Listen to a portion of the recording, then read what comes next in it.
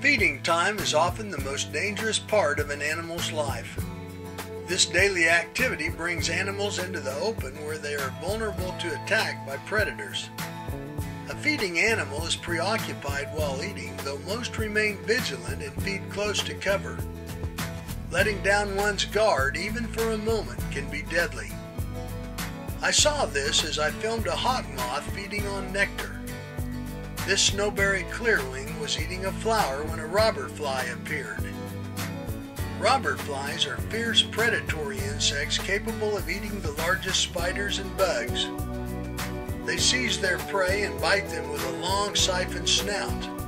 Then they suck the body contents from their victim.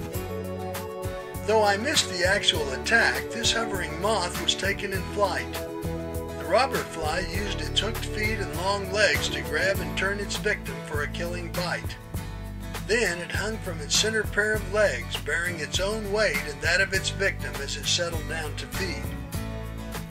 That's the way it worked this time.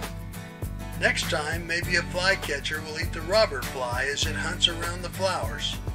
It's nature's way and part of the everyday drama of the Kansas outdoors. I'm Mike Blair for Kansas Wildlife and Parks.